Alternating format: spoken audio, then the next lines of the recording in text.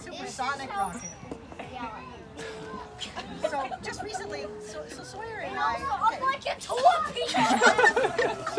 You got it. You're like a torpedo. All right. I'm like a super fast, like fly out. All right.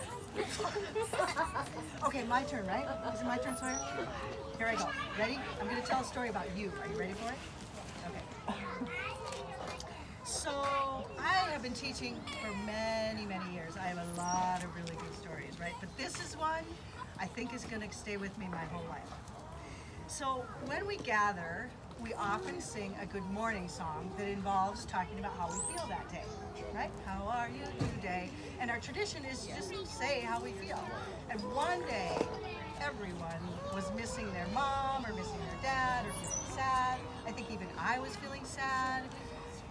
we were all talking about this. And at one point, Sawyer says, with a nod of his head and a shrug of his shoulders, I don't know, maybe I'm the only one, but I'm fantastic. yeah!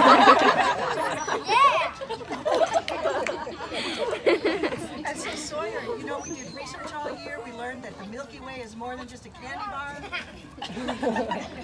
we learned so many things together.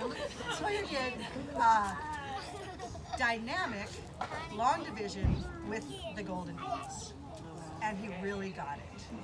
This brilliant mind has been super fun to work with all year long and given us lots of encouragement. Thanks, Sawyer, for a great year and congratulations. Okay,